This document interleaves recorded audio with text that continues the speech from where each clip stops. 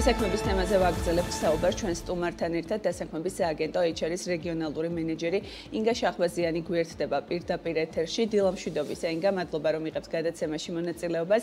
ვიდრე მიმდინარე თვეში ვიტყვით როგორია? ვაკანსიების რაოდენობა თქვენს პლატფორმაზე. მოდი გასული წელი შევაჯამოთ როგორი იყო? 2023 წელი ჯამში რამდენი ვაკანსია გამოქვეყნა რამდენად აქტიურობდა ბიზნესი წინა წლებთან შედარებით მოგესალმებით ყველას.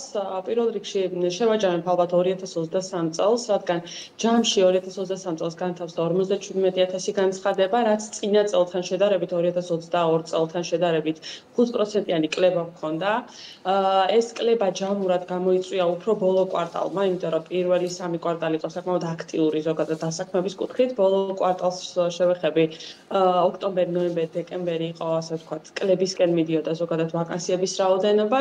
შესაბამისად ამან განაპირობა ის რომ ჯამურად წლიური მაჩვენებელი 5%-იანი კლებით დავასრულე. რა იყო მიზეზი ბოლო კვარტალში 100 ახლმე წინა წლებშიც თუ მხოლოდ 2023 წლის ტენდენცია იყო? დიახ. ზოგადად დეკემბრის თვე არის ყველაზე პასიური. რადგან საახალწლო პერიოდი მოდის და პრინციპში ყოველ წელს დეკემბერში საკმაოდ ასე ვთქვათ, ვაკაციების ნაკლებობა ყოველთვის ჰქონდა, თუმცა წელს ეს პერიოდი ძალიან ადრე დაიწყო. ოქტომბრის თვიდან გვაქვს უკვე კლება. ოქტომბერი, ნოემბერი და დეკემბერს რაც შეეხება წინა წლებთან შედარებით საკმაოდ დავადნილი იყო. ფაქტობრივად განახევრებული იყო ვაკანსიების რაოდენობა წინა თვეებთან შედარებით. დაახლოებით რამდენ ვაკანსიაზეა საუბარი? დიახ, ანუ ჯამში დეკემბრის თვეში განთავსებული იყო 4000-მდე ვაკანსია, ეს იყო ის მაქსიმუმი, რაც დაიდო დეკემბერში. წინა წლებთან შედარებით კლება გვაქვს თვითონ დეკემბერში, აი მაგალითად წინა წლის დეკემბერზე რომ ვისაუბროთ, 5200 ვაკანსია იყო განთავსებული, ეხლა 4000-იან დაახლოებით 1200 ვაკანსიით დაიკლო, რაც რა თქმა უნდა გასაკვირია, იმიტომ წინა წლამდე გვაქვს ხოლმე ზრდა ზოგადად, ასე ვთქვათ, თვეების მიხედვით, თუმცა წლევანდელმა ბოლო კვარტალმა გვაჩვენა, რომ პირიქით კლება არის საკმაოდ დიდი, აი ბოლო კვარტალი რო შევადარო წინა წელს გვაქვს დაახლოებით 22%-იანი კლება. ჯამში ამან მოგცა სურათი, რომ წლის ჭრილში გვაქვს 5%-იანი კლება 2022 წელთან შედარებით. თვითონ 2025-24 წელზე რომ ვისაუბრო, საკმაოდ აქტიურად დაიწყო ეს პერიოდი, ვიტყვი უფრო წინა კვირასთან დაკავშირებით, იმიტომ რომ რა თქმა უნდა, ახალ წლების შემდეგ 3, 4, 5 ეს პერიოდი არ იყო აქტიური, თუმცა 8 რიცხვიდან საკმაოდ აქტიურად დაიწყეს განთავსება ვაკანსიების ფინანსების კომპანიებმა ძალიან აქტიურობენ ისეთი სექტორები, როგორც არის თქვა საბანკო სფერო, ხორეკა სექტორი, როგორც არის თქვა თუნდაც სამედიცინო სფერო, მომსახურების სფერო, IT სფერო, პრინციპში ეს ის ასე თქვა კატეგორიის ვაკანსიებია, რომელიც ყველაზე ხშირად თავსდება ხოლმე ჩვენ საიტზე და პრინციპში 2024 წელით ამით დაიწყო, რომ ყველაზე მეტად ეს სფეროები აქტიურობენ. მინდა რომ ვიკითხოთ წინა კვარტალი ახსენეთ, წინა წლის ბოლო კვარტალი და მნიშვნელოვანი შემცირება, რაც სხვა წლებში არ იყო დამახასიათებელი. თუ შეგვიძლია ვთქვა, რომელ სექტორებში იყო განსაკუთრებით ეს კლება, რის ხარჯზე შემცირდა? აა პრინციპში ყველა სფეროში იყო კლება, მათ შორის ხორეკა სექტორში იყო საკმაოდ თქვა აღნიშნება, იმიტომ რომ ზოგადად ხორეკა სექტორში დაახლოებით თვის ჭრილში გვაქვს ხოლმე 17-18% ვაკანსიების რაოდენობა, ბოლო კვარტალში ვაკანსიების საუდერობა იყო დაახლოებით 13%. ჰორეკა სექტორი იყო ერთ-ერთი სამედიცინო სფეროში ქონდა კლება, თუმცა აღნიშნავ რომ საბანკო სფეროში იყო საბანკო საფინანსო სფეროში მატება, იმიტომ რომ დაახლოებით 8% არის ხოლმე საბანკო საფინანსო სფეროს ვაკანსიები და ბოლო კვარტალში 12%-ზე აიწია. ანუ ეს ის სფეროა, რომელიც მეტაკლებად აქტიურობდა ბოლო კვარტალში. დანარჩენი სფეროები პირიქით, კლებისკენ მიდიოდა და პრინციპში ყველა მათგანი პასიურობდა იანვრის თვემდე. იანვრის თვეში ყველა გამოცოცხლა მეტაკლებად რაღაც და დაიწყეს აქტიურობა. რო ქონდეს წარმოქმნა მთელი წლის განმავლობაში, რამდენ ვაკანსიაზე იყო საუბარი, რამდენმა დამსაქმებელმა დამსაქმებელი შეეცადა სასროლი კადრის პოვნას? აა 57000 ვაკანსიაზე ვსაუბრობთ, ეს ის რაოდენობა რაც 2023 წელს იყო ჯამში განთავსებული და ეს იყო ჯამში 12000 კომპანიის ვაკანსიები. აა რა თქმა უნდა, ზოგი მათგანი ბევრად უფრო ხშირად განთავსებდა, უფრო მეტად აქტიურობდა, თუმცა ჯამში 12000 კომპანია იყო, რომელმაც განათავსა ვაკანსია. რამდენად იზრდება კომპანიების ჩამონათვალი, ვინც ეძებს თქვენი პლატფორმის მეშვეობით დასაქმებ გასახულებს? აა დიახ, რა თქმა უნდა იზრდება, ვიტყვი რომ ჯამში ამ ეტაპისთვის 39000 კომპანია არის ჩვენს პორტალზე დარეგისტრირებული, ვინც ანთავსებს ვაკანსიებს და ეძებს კადრებს, შეიძლება ეს არ იყოს უბრალოდ ვაკანსიის გამოცხადება, არამედ იყოს თქვა ბაზაში, ჩვენს სიوبების ბაზაში კადრების მოძიება, თუმცა რეგისტრირებულია და იყენებს ჩვენს პორტალს. ესეთი 32000 კომპანია, მათ შორის არიან აქტიური კომპანიები და მეტნაკლებად პასიური, რომელიც თქვა შეიძლება წელიწადში მხოლოდ ორჯერ ან სამჯერ აცხადებს ვაკანსიას.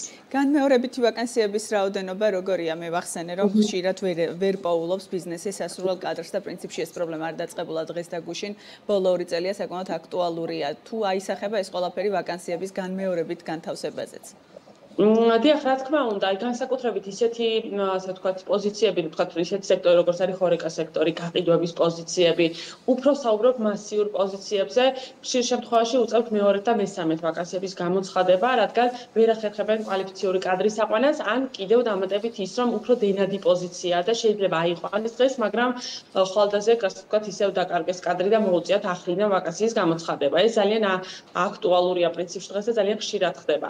რასაც ვერ ვიტყვი მაღალ პოზიციებზე, ბევრად ნაკლებია მანდ დენადობა, საშუალო, ასე ვთქვათ, პოზიციებზე და მაღალ პოზიციებზე, ძირითადად გამოცხადების შემთხვევაში ხშირად ერთხელ ან მაქსიმუმ ორჯერ უწევთ ვაკანსიის გამოცხადება და თვითონ დენადობაც ამ მიმართულებით ნაკლებია და ამიტომ რამდენად ხშირად ეძებენ მაღალ პოზიციებზე კადრებს დასაქმების სააგენტოს მეშვეობით? აა რა თქმა უნდა პროცენტულად ბევრად ნაკლებია მსგავსი ვაკანსიები ვიდრე თქვათ დამწყებ პოზიციების ვაკანსიებს გულისხმობ თუმცა ვიტყვი რომ წინა წლებთან შედარებით მეტაკლებად გამოჩნდა უკვე. მსგავსი ვაკანსიები და აცხადებენ ძირითადად მაინც კომპანიები ცდილობენ რომ შიდა კადრების დაწინაურება მოახდინონ და ამით ასე ვთქვათ დააკომპლექტონ თუნდაც ის მაღალი პოზიციები. თუმცა მაინც დაახლოებით ახლა პროცენტულად რომ ვიმსჯელოთ 7% არის ჯამური განცხადებებიდან ტოპ მენეჯმენტის და საშუალო მენეჯმენტის ვაკანსიები. და აბსოლუტური უმრავლესობა მოდის დამწყებ ვაკანსიებზე ამ შემთხვევაში გაყიდვების სპეციალისტები. განაცხენი დამწყებზე კი, დამწყები და საშუალო.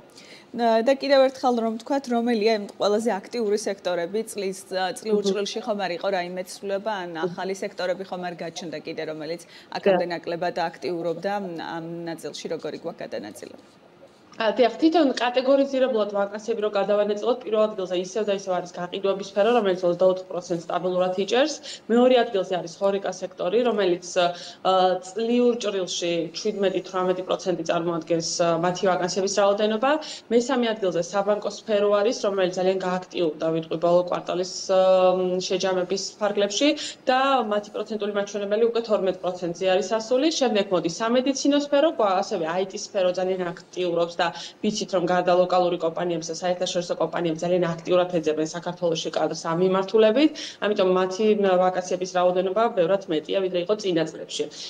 შემდეგ მოდის მომსახურების სფერო, იურიდიული სფერო და ნენელა შემდეგ უკვე ასე ვთქვათ იკლებს პროცენტულად რა თქმა უნდა სხვა სფეროებიც აქტიურად. მიმდინარე სეზონისთვის გეოგრაფიულ გადანაწილებაში რამდენად არის ამთრის კურორტები და ამ ნაწილში სხვა ქალაქების მხრიდან აქტიურობა როგორია? იგივე არ ვიცი ქუთაისი, ბათუმი, გუდაუთი თუ ასე შემდეგ.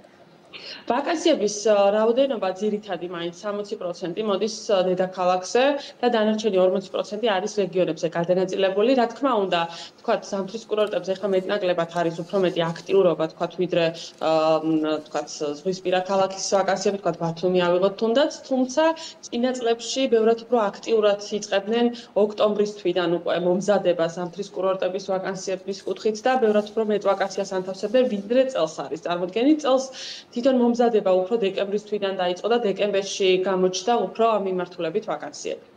და თუ შეიცვალა კომპანიების განცხადებებში ხელფასების ნაწილზე რამდენად არის საუბარი თვითონ განცხადების დროს ან ბენეფიტები რამდენად გაჩნდა, რასაც აქამდე არ სთავაზობდნენ იმისთვის, რომ უფრო მეტად დაინტერესონ მომავალი თანამშრომლები. დიახ, ანუ დავიწყე პირველ რიგში, რომ ჩვენ წინაც ჩაფრთხილდეს ბევრჯერ ვისაუბრეთ ამაზე, რომ ბოლო პერიოდში ძალიან ხშირად უკვე კომპანიები უთითებენ. თუნდაც ბენეფიტებზე ინფორმაციას, თუნდაც სახელმწიფო, ასე ვთქვათ, შეთავაზებაზე, იმიტომ რომ ადრე ამასთან დაკავშირებით ინფორმაცია იშვიათად თავსდებოდა და დაახლოებით იყო ჯამში 5% ვაკანსიების რაოდენობა ანუ ჯამურ ვაკანსიებთან შედარებით, სადაც იყო მითითებული ანაზღაურება. დღეს ეს ციფრი გაზრდილია. ბოლო მონაცემებით მიმდინარე ვაკანსიებთან მიმართებაში 32%-ია იმ ვაკანსიების რაოდენობა, სადაც არის მითითებული ანაზღაურება. თუმცა დაახლოებით 70%-ამდეა ის ვაკანსიების რიცხვი, სადაც არის მითითებული თუნდაც ბენეფიტები ან მინიმალური თქვა რაღაც პირობები. შეიძლება ის იყოს თქვა ბენეფიტი რაღაცა დამატებითი, რაღაცა ასე თქვა ის სერვისი, რასაც თავაზობს კომპანია დამატებით ამ კადრს. შეიძლება არ იყოს ამასაუბრად 70%-ში რა ხელფასია დაახლოებით საუბარი რა არის საშუალო თანხა?